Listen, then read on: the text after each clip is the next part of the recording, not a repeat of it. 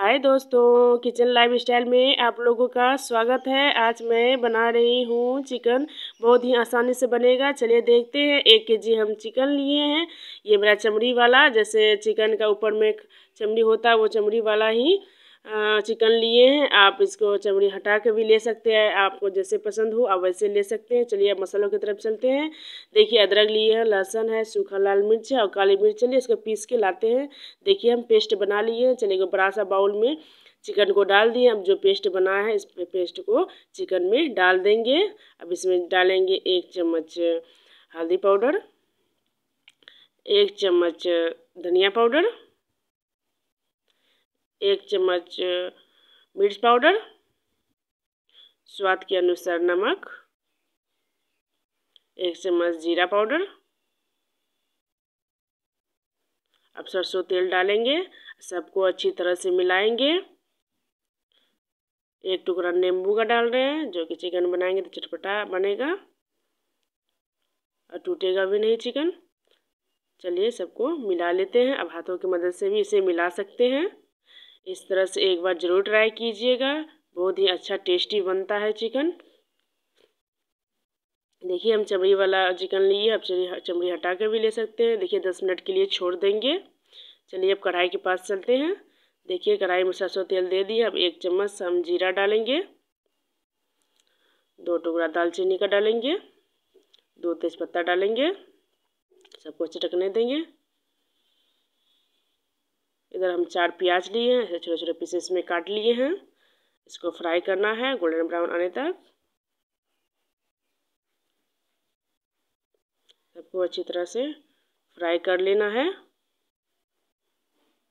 आपको भी इस तरह से कर लेना है रू रुक के धीमे धीमे आँच में।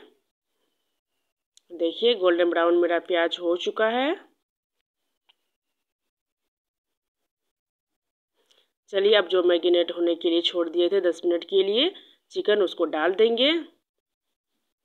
देखिएगा चमड़ी वाला हम चिकन लिए हैं, इसमें बहुत तेल छोड़ता है, इसमें बहुत ही कम तेल से मतलब कि बहुत ही कम तेल में चिकन बन के तैयार होता है। देखिएगा, बहुत ही तेल छोड़ेगा। उलट पलट के इसे प्याज के साथ में मिला लेंगे।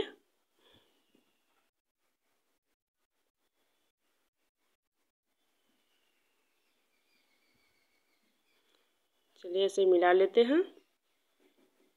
ताव तेज ताव को तेज कर लेना है। अभी तेज ताव में भूनना है दस मिनट तक।